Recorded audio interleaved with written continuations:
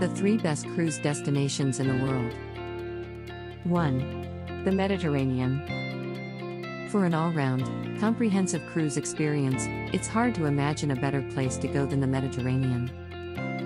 This large secluded sea has served as the birthplace of civilization and likely the first area that connected different cultures. 2. The Caribbean. Arguably the most iconic of all cruise destinations, the Caribbean continues to live up to its status. This huge region consists of numerous island nations, all boasting their own character, spirit, and culture, which makes a Caribbean cruise all the more awesome. 8. Hawaii. Another classic tropical cruise destination is Hawaii.